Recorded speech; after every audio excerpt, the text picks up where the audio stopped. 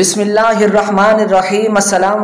वरहमतुल्लाहि वबरकातुहू। नाजरीन कराम आप तमाम अहबाब को अपने यूट्यूब चैनल जी न्यूज़ पर खुश आमदीद करता हूँ और उम्मीद करता हूँ आप तमाम अहबाब बिल्कुल खैर खरीत से और बिल्कुल ठीक ठाक होंगे। नाजरीन कराम आपके साथ एक बड़ी खबर शेयर करने जा रहा हूँ कि इलेक्शन कमीशन ने सबक वज़ीर अजम इमरान खान के ज़ात नामजदगी को मुस्तरद कर दिया है। नाजरीन कराम इसकी तफसील जानने से पहले आपसे एक छोटी सी गुजारिश है। अगर आप हमारे चैनल पर नए हैं तो इस चैनल को सब्सक्राइब कीजिए और बेल के आइकन को ज़रूर प्रेस कीजिए ताकि हर आने वाली नई वीडियो आप तक पहुँचती रहे और इस तरह हमारी मोहब्बतों का सिलसिला आपस में कायम और दायम रहे। वीडियो को लाइक और शेयर ज़रूर कीजिए। नाजरीन कराम इलेक्शन कमीशन पंजाब ने कौमी असम्बली के हल्का एन ए एक सौ आठ के ज़मनी इंतबात के लिए जमा कराए गए इमरान खान के कागजात नामजदगी को मुस्तरद कर जराये के मुताबिक इमरान खान के हल्का एन ए एक सौ आठ फैसलाबाद में जमा कागजात नामजदगी पर लीगी रहनुमा आबिद शेर अली की जानब से एतराज़ दायर किया गया था। कहा गया था कि पीटीआई के चेयरमैन ने कागजात नामजदगी में आमदन और इसासे दुरुस्त ज़ाहिर नहीं किए। ज़िले इलेक्शन कमिश्नर ने दरखास्त मंजूर करने के बाद इमरान खान के कागजात नामजदगी चेक किए। फिर उन्हें शाम तक पेश होकर वजात देने की मोहलत दी थी।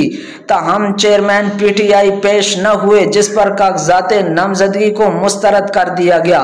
ज़िले इलेक्शन कमिश्नर के मुताबिक इमरान खान के आमदन और इसासों में तजाद पाया गया है।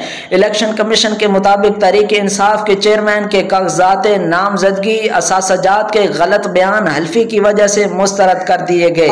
रिटर्निंग अफसर ने कागजात की जाँच पड़ताल मुकम्मल होने के बाद उम्मीदवारों के नामों की हतमी फहरिस्त भी जारी कर दी। नजरीन अगर आपको हमारी वीडियो पसंद आई है तो कमेंट सेक्शन में अपनी राय का इजहार ज़रूर